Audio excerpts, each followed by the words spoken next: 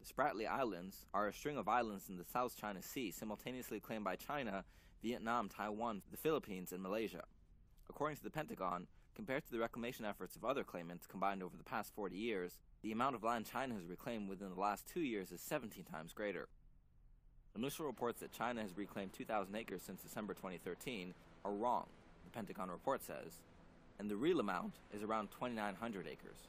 On the Fiery Cross Reef, China has built an airstrip, and at many of the reclamation sites in the Spratlys, China has also built berthing areas for large ships.